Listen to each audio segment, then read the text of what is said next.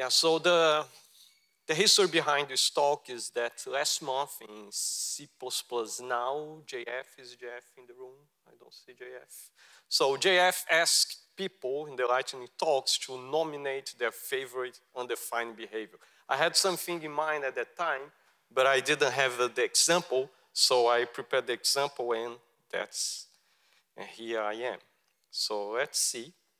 Well, some spoilers here, so sorry about that. You should not be seeing anything like here. Don't, don't, don't, don't look, don't look, don't look, don't look. Don't look. Don't look. Yeah. So I think it's fair to say that everybody here loves C++. Well, I love C++, and I wonder if you, like me, you wonder if C++ loves me back. So I wrote a program to ask C++ if it loves me back. So just pay attention to the green box.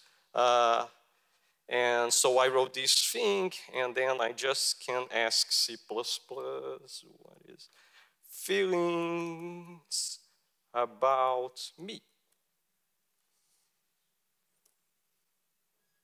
Ah, he loves me back. So I'm very happy, very happy.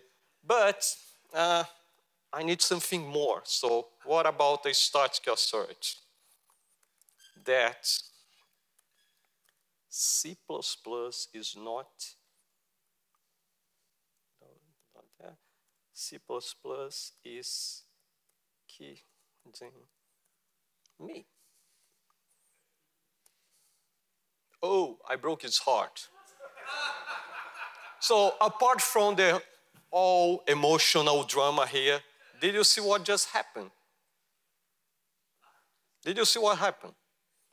Again, a static assert change the runtime behavior of the program. What is going on here? Any guess? Instantiate something, some undefined behavior, which one? ODR violation. So that's it. So ODR violation is my favorite undefined behavior because of the example. So to be more serious now, so you can see what is happening in this example here. So actually, and sometimes we might use these in code. So people do the straight is complete and then they branch if the thing is complete or not. So be really careful when you do that. And that's all. Thank you very much.